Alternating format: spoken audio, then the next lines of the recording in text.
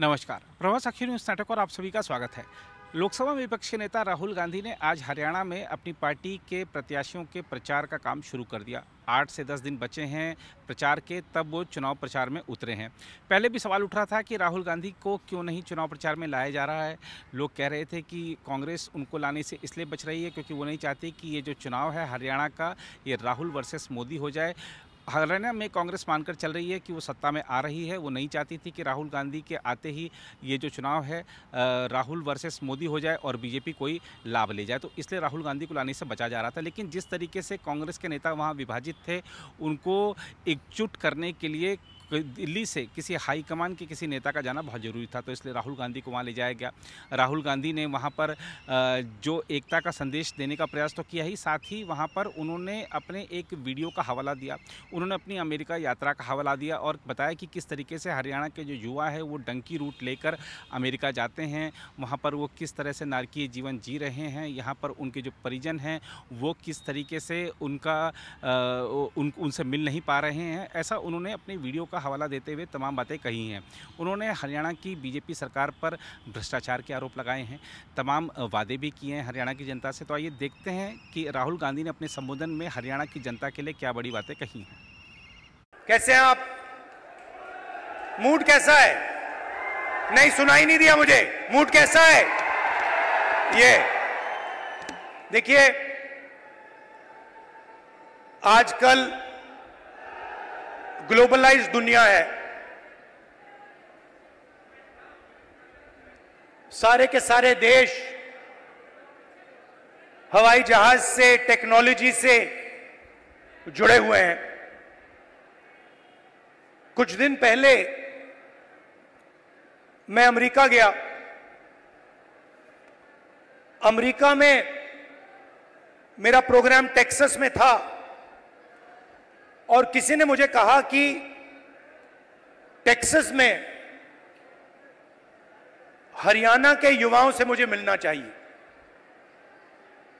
पता नहीं आपने वीडियो देखा नहीं देखा? देखा? देखा। मैं आज आपसे उस वीडियो के बारे में बोलना चाहता हूँ। क्योंकि अगर आज आप हरियाणा को समझना चाहते हो तो जो भी समझना है, उस वीडियो के अंदर है। सबसे पहले, जब मुझे बताया गया कि हरियाणा से हज़ारों लोग पंद्रह बीस हज़ार लोग अमेरिका गए हैं, मैं हैरान हुआ। हरियाणा से इतने लोग अमेरिका क्यों जा रहे हैं? मेरे दिमाग में सवाल उठा। और फिर मैं डैलस में आपके भाइयों से एक छोटे से घर में जाके मिला। मैं आपको बताना चाहता हूँ, आपके भाई डैलस में एक कमरे में पंद्रह बीस लोग सोते हैं। मैंने उनसे पूछा, आप अमेरिका कैसे आए? देशों की लिस्ट दे दी। पहले हम यहाँ गए। टर्की गए, कजाकिस्तान गए, कजाकिस्तान से साउथ अमेरिका गए। साउथ अमेरिका से एक के बाद एक एक के बाद एक एक के बाद एक हम दूसरे देशों से निकले। और फिर हम पैनमा के जंगलों से निकलकर अमेरिका में जाए। अमेरिका में हमें रोका गया, पकड़ा गया, और अब हम अमेरिका में हैं। रास्ते की कहानी बताई। राहुल जी, रास्ते पे माफिया के लोगों ने एक बार नहीं, अनेक बार हम सबको लूटा। हम समुद्र में से निकले, जंगलों में से निकले, पहाड़ों में से निकले। हमारे भाइयों को मरते हुए हमने देखा है। जंगल में मरते हुए देखा है गिर कर मरते हुए देखा है, अपनी आँखों से देखा है। फिर मैंने सवाल पूछा, मैंने कहा कि भैया, ये जो आपने सफ़र किया है, आप अमीर लोग तो नहीं हो। इस सफ़र के लिए, प्लेन टिकट के लिए, नाव के लिए, गाड़ी के लिए आपने कितना पैसा दिया? अमेरिका में घुसने के लिए आपने कितना पैसा दिया? राहुल जी, कम से कम 35 लाख रुपए अमेरिका में जाने के लगते हैं। फिर मैंने सवाल पूछा, भाई एक बात बताओ, आप 35 लाख रुपए ब्याज लिए हो या आपने अपना खेत बेचा? आधों ने कहा कि भैया हमने अपना खेत बेचा। दूसरों ने कहा, हम ब्याज लिए। मैंने कहा, किस रेट पे ब्याज लियो? कहते हैं, दो परसेंट प्रति महीना। फिर मैंने पूछा, भैया, एक बात समझाओ। आपने तीस लाख, पैंतीस लाख, पचास लाख कर्जा लिया है। आप अमेरिका जा रहे हो। पचास लाख रुपए से तो आप हरियाणा में ही बिज़नेस चला लोगे। जैसे मैंने ये बात बोली, हंसने लग गए। कहते, राहुल जी, क्या बोल रहे हो आप? पचास लाख रुपए से हरियाणा में बिज़नेस नहीं चालू हो सकता है। अगर हमने 50 लाख रुपए, ये 50 लाख रुपए हरियाणा में बिज़नेस चालू करने के लिए लगा दिए होते तो हमारा बिज़नेस फेल हो जाता। किसी ने मुझे यह भी कहा कि राहुल जी, मैंने ट्राई किया। फेल हो गया। बेरोजगारी है, महँगाई है। और जब उन्होंने मुझे बोला, मुझे दुख हुआ। उन्होंने बोला, राहुल जी, हरियाणा में हमारे जैसे लोगों के लिए अब कुछ नहीं बचा है। अगर एक युवा गरीब है अरबपति का बेटा नहीं है तो ना उसे बैंक लोन मिल सकता है, ना वो बिज़नेस चालू कर सकता है, ना वो पब्लिक सेक्टर में जॉब पा सकता है, ना वो आर्मी में जा सकता है। एक के बाद एक एक के बाद एक एक के बाद एक एक के बाद एक सारे दरवाजे आपके बंद कर दिए गए हैं।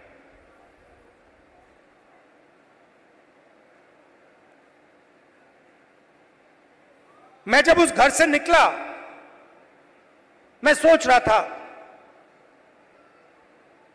कि अगर इनकी यह हालत है तो इनके बच्चों की क्या हालत? है ये तो यहाँ है, कोई ट्रक चला रहा है, कोई जॉब कर रहा है, पैसा कमा रहे हैं। मेरे माइंड में आया कि इनके बच्चे क्या कर रहे हैं, इनकी फैमिली क्या कर रही है। कमरे में मैंने बात उठाई थी। मैंने कहा कि आप फैमिली से मिलते हो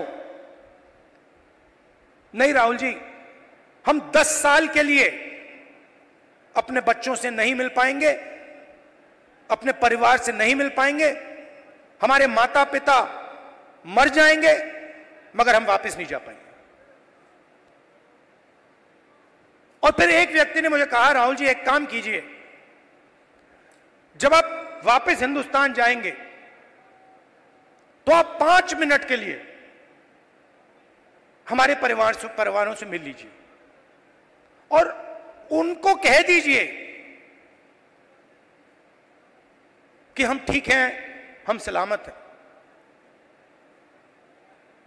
मैंने उनसे कहा कि, भाई बताओ, आपके पास तो मोबाइल फ़ोन तो होगा। वीडियो कॉल करते होगे।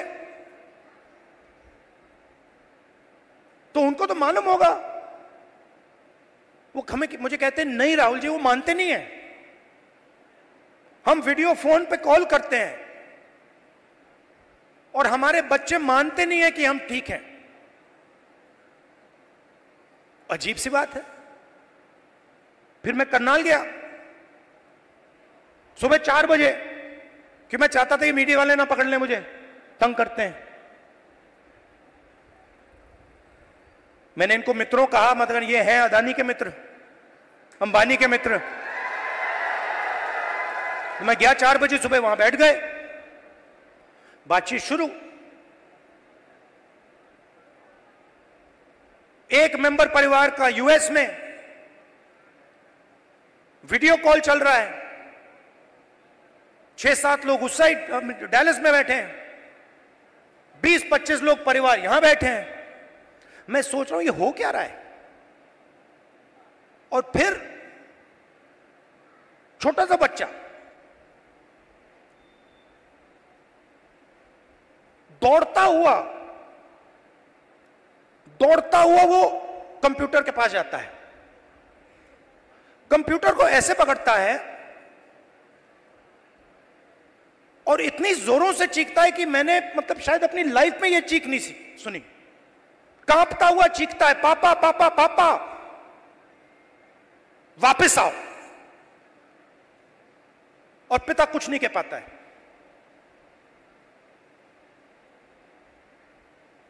देव को, देव की आँखों में आँसू चिल्ला रहा है।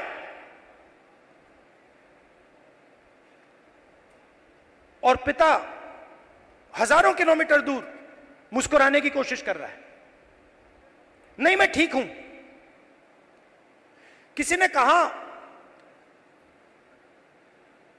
बच्चा इमोशनल हो गया. मैंने माइंड में सोचा कि इमोशनल हो गया। इसके हर रोज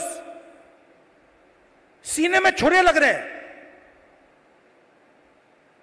इमोशनल शब्द का क्या मतलब है? वो अपने पिता को दस साल के लिए नहीं देखेगा, छू नहीं पाएगा, गले नहीं लग पाएगा।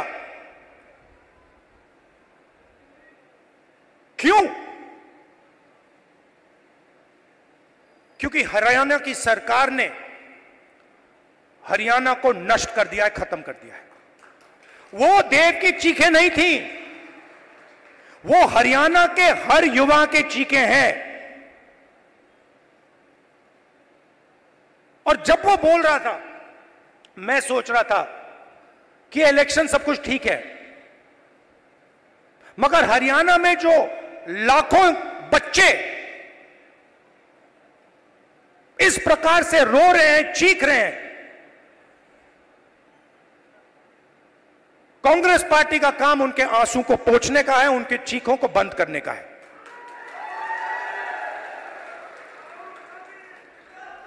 अब देव रो क्यों रहा है? यह मैं आज आपको समझाना चाहता हूँ।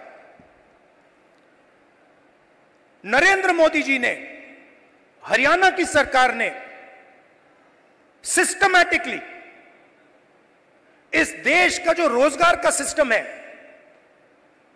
उसको खत्म किया है। वो जो युवा अमेरिका गए हैं, छोटे से घर में 20-25 एक कमरे में रह रहे हैं, एक वहाँ पे था, जिसको एक्सीडेंट हो गया, चल नहीं पा रहा है। उसकी माँ मुझे कहती है, राहुल जी, मैं तो बेटे से मिलना चाहती हूँ। मैं कहना नहीं चाहता था। कैसे मिलोगी? वो दस साल के लिए वापस नहीं आ सकता। तो बच्चे चिल्ला रहे हैं, माताएँ चिल्ला रही हैं, पूरा परिवार चिल्ला रहा है। क्यों? क्योंकि हरियाणा में रोज़गार नहीं। नरेंद्र मोदी क्या करते हैं? काले कानून लाते हैं। जो है आपके पास जो आप पूरे देश को देते हो, वो भी छीनने की कोशिश करने हैं। कल मैं जम्मू कश्मीर गया, वहाँ के, वहाँ पे कंप्लेंट आ रही है, भैया, हमारा सेब का पूरा बिज़नेस ठप हो गया, अदानी जी को दे दिया है। हिमाचल में सेब का बिज़नेस अदानी को जाता है। यहाँ पे आपको सही दाम नहीं मिलता है। स्टोरेज कंटेनर उनके। सारी की सारी प्लानिंग 10-15 लोगों के लिए होती है। हरियाणा के किसानों का कर्जा माफ़ नहीं होगा। आपको सही एमएसपी नहीं मिलेगी। मगर 25 अरबपतियों का 16 लाख करोड़ रुपया कर्जा माफ़ होगा। और आप देखते रहोगे कि भैया हो क्या रहा है? ये प्रदेश जो पूरे देश को भोजन देता है, यहाँ हो क्या रहा है?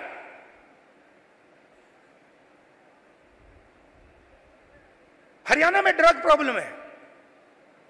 उन्होंने मुझे बताया कि राहुल जी, हरियाणा में ड्रग प्रॉब्लम बढ़ती जा रही है। गुजरात में, अदानी के पोर्ट में हज़ारों किलो ड्रग्स पाया जाता है। आपने देखा, तीन हज़ार किलो हेरोइन उनके पोर्ट में पाया जाता है। किसी को सजा हुई? मीडिया में लिखा, एक शब्द नहीं। एयरपोर्ट उनको चले जाते हैं। पोर्ट्स उनको चले जाते हैं। मोबाइल फ़ोन चलाओ, जेब से पैसा उनको जाता है। सड़कों पे चलो, जेब से पैसा उनको जाता है। हवाई जहाज़ में जाओ, खरीदो सारा का सारा उनके हाथ में। आपके लिए क्या? गलत जीएसटी नोटबंदी। क्यों? क्योंकि छोटे व्यापारियों को स्मॉल मीडियम साइज़ बिजनेसेस की हत्या करनी है, खत्म करना है। क्यों? क्योंकि दस 10-15 लोग चाइना का माल हिंदुस्तान में बेचना चाहते हैं। बनाना नहीं चाहते। जो आप काम करते हो जो छोटे बिज़नेस वाले करते हैं, हाथ से बनाते हैं, वो नहीं करना चाहते। जो हिंदुस्तान में बनाता है, उसको खत्म करना चाहते हैं। और चाइना का माल हिंदुस्तान में बेचना चाहते हैं।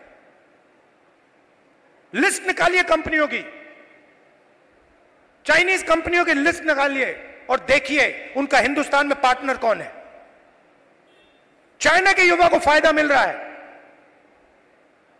चाइना की सरकार को फ़ायदा मिल रहा है।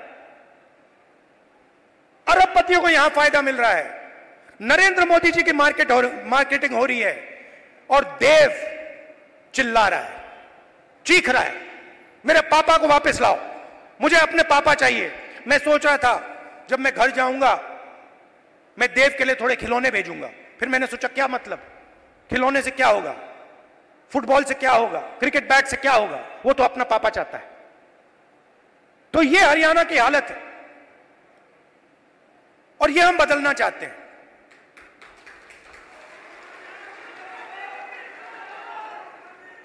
यहाँ पे, स्टेज पे,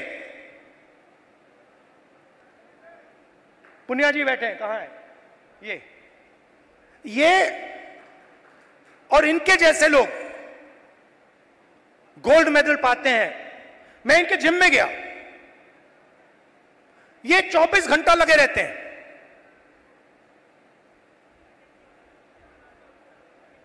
चौबीस घंटा, क्यों? गोल्ड मेडल चाहिए। क्यों? हरियाणा का नाम रोशन करना, हिंदुस्तान का नाम रोशन करना पूरी दुनिया में हम चाहते हैं कि हरियाणा का नाम जाए, हिंदुस्तान का नाम जाए। गोल्ड मेडल हम अपने नहीं ले, अपने लिए नहीं लेते हैं। गोल्ड मेडल हम हिंदुस्तान के लिए लेते हैं। इन्होंने कहा मुझे, इसने कहा, वो भी चार बजे सुबह। इनका क्या किया? सारे इसके सारे एथलीट्स को खत्म कर दिया। इनके बहनों का सेक्सुअल हरासमेंट हो रहा है और जो कर रहा है उसकी रक्षा चल रही है। 24 घंटे टीवी पे देखो।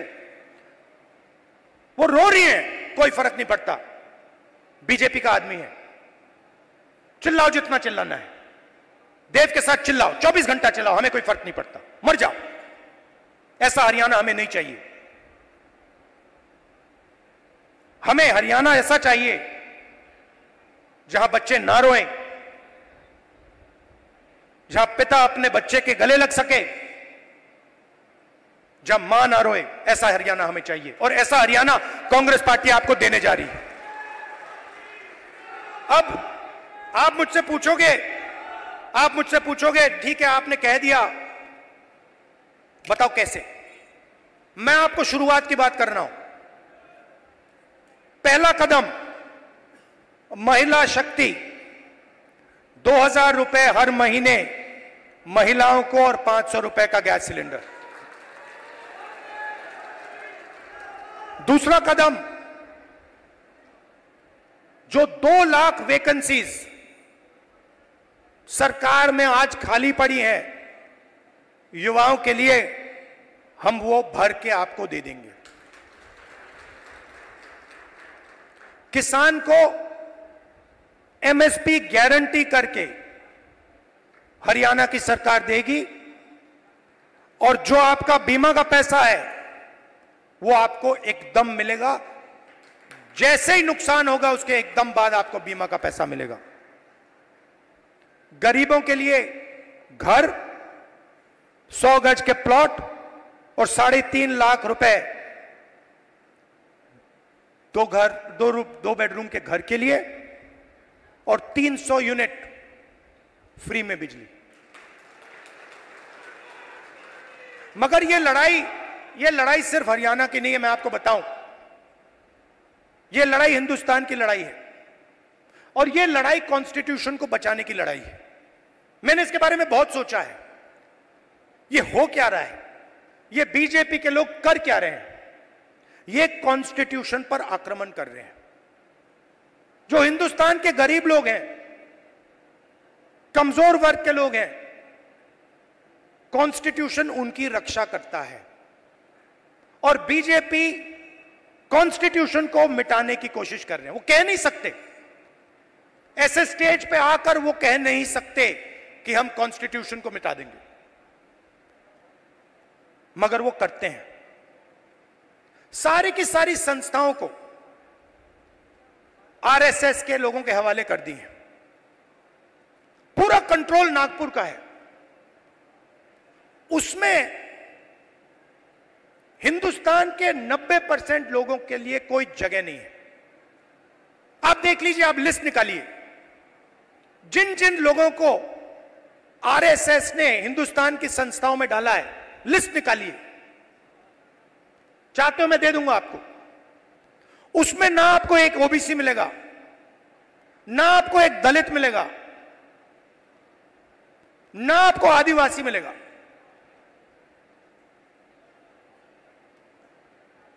तो खोखला कर रहे देश को। इलेक्शन कमीशन में अपने लोग, ब्यूरोक्रेसी में अपने लोग, मीडिया में अपने लोग, इंटेलिजेंस सर्विसेज़ में अपने लोग और 90 परसेंट हिंदुस्तान के लिए कुछ नहीं। इसलिए हमने चुनाव में जाति जनगणना की बात की। हिंदुस्तान में किसकी कितनी आबादी है यह हम जानना चाहते हैं। अब इसमें कोई गलत बात तो नहीं है। जैसे चोट लगती है आपको, पैर में चोट लगती है, डॉक्टर कहता है, भैया, एक्सरे कराओ, चेक कराओ। हम सिर्फ़ ये कह रहे हैं कि, भैया, चेक कराओ। इस देश में दलित कितने हैं, आदिवासी कितने हैं, पिछड़े कितने हैं, गरीब जनरल कास्ट के कितने लोग हैं, ये पता लगाओ। कभी आरएसएस कहती है, करना चाहिए। अंदर से कहते हैं, भैया, ये मत करवा देना। सच्चाई निकल आएगी। सच्चाई क्या है? कि 90 परसेंट लोगों के पास कुछ है ही नहीं। 250 सबसे बड़े बिजनेसेस देख लीजिए। लिस्ट निकालिए। उनकी मैनेजमेंट की लिस्ट निकाल लीजिए। उनके सीईओ की लिस्ट निकाल लीजिए। ओनरशिप जिसके हाथ में उनकी लिस्ट निकाल लीजिए।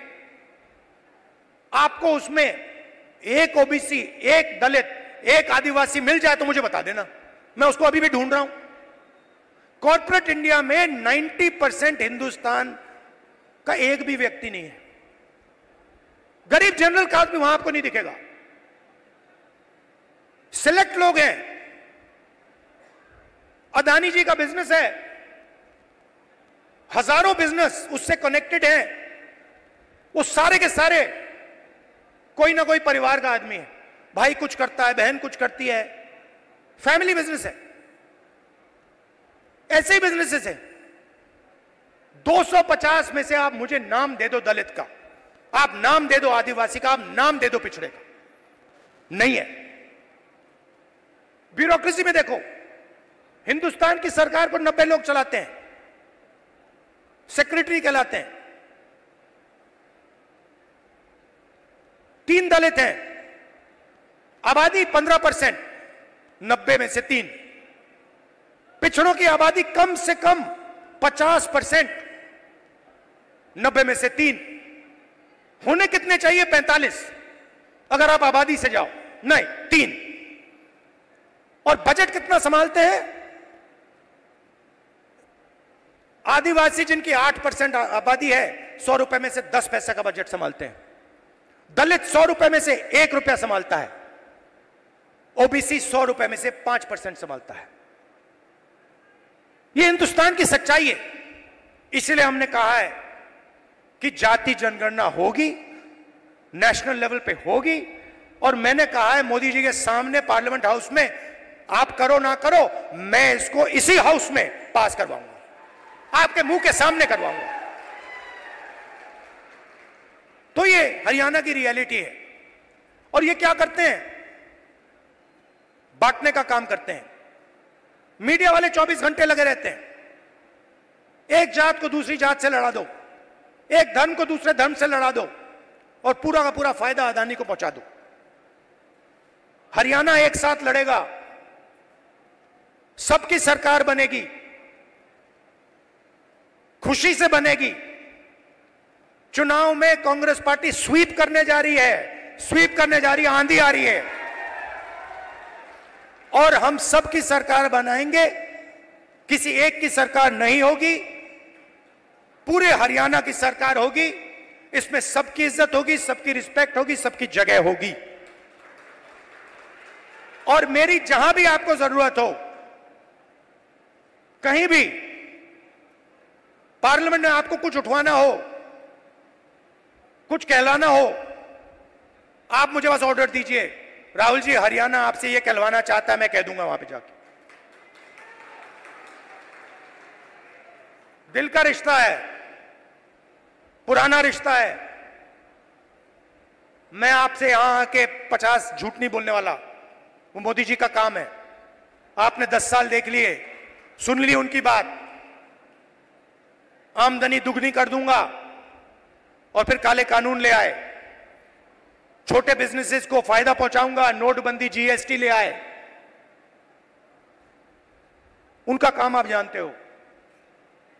अब सब मिलकर एक साथ हरियाणा को खड़ा होना है, क्योंकि देव जैसे जो बच्चे रो रहे हैं, उनके आँसू पोछने हैं, उनको खुश करना है और उनको अपने पिता के पास गले मिलने देना है। धन्यवाद। अगर आप भी लेना चाहते हैं देश दुनिया की तमाम जानकारी तो आज ही सब्सक्राइब करें हमारे चैनल को।